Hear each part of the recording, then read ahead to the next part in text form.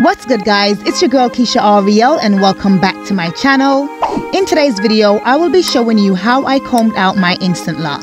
So let's get into it. So to comb out my instant loc, I will only be using a pintail comb. However, I would like to add that as I have literally just installed this loc for demonstration purposes only, I will not be using any additional products such as water and conditioner.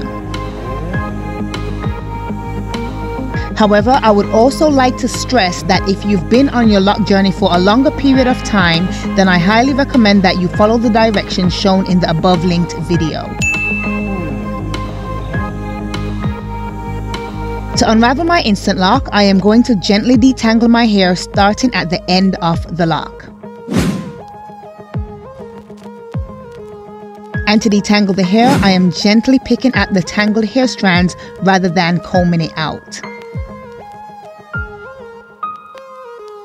Now, the reason why I decide to pick at it rather than comb it out is because there's a lot of hair which are actually tangled that we've literally just created and that will definitely rip the hair out. But if you're gently picking at it, you can know where the tangles are and you can be a little bit more gentle or you can actually use your fingers to um, unravel it.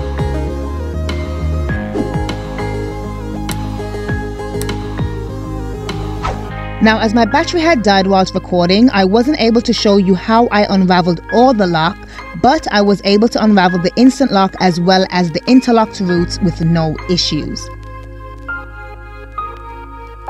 So remember to check out the cards listed above and in the description bar below for similar videos like this one.